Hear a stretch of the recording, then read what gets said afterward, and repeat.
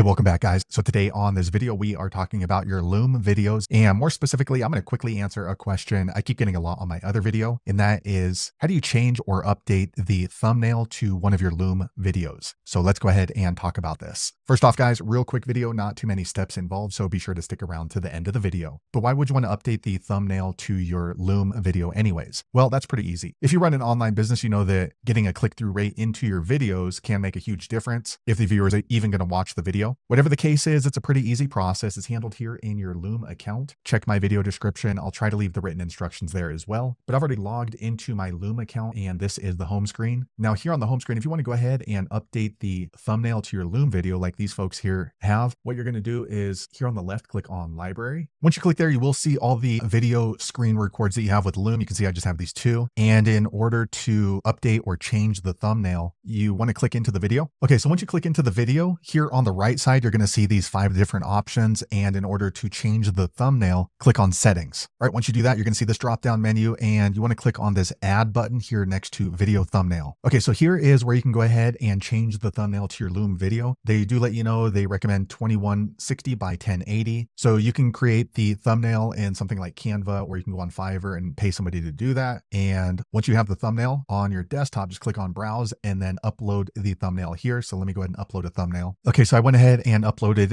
another thumbnail that I have. This is not relevant to this video, just something that I grabbed. And as long as that looks good to you, what you're going to do is you're not finished until you scroll to the bottom here, and then you're going to click on this purple save button. Okay, you can see down here, well, it went by pretty quick. It says thumbnail saved. It was a pop-up, and then it jumps back here and now you can see my thumbnail has changed to my Loom screen recording. So there you have it, guys. If you're wondering how to change the thumbnail to one of your Loom screen records or videos, that's the easiest way I know how to do it. If you know an easier way, be sure to leave a comment below. Let the rest of us know how you did it. Hopefully you found that video useful. If so, click thumbs up or maybe consider subscribing to my channel. And I hope to see you on the next video. Thanks again for watching.